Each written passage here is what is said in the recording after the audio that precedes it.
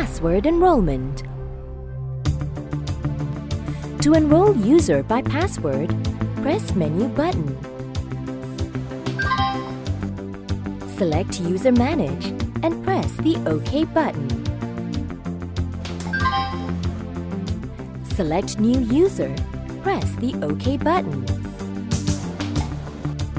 Assign user ID 1555 by pressing the keypad button.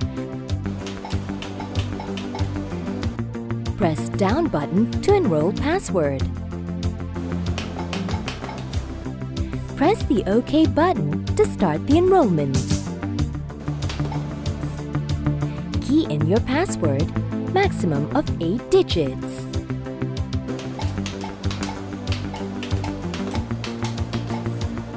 Press down button and re-enter the password when you see Password Affirm.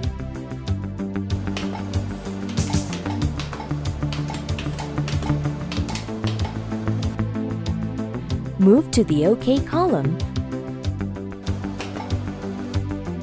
Press the OK button to save the password.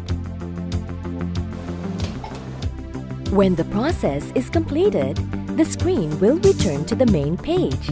Move to the OK column and press the OK button to save the settings. Press the OK button to confirm. To exit, press the Escape button to the main menu.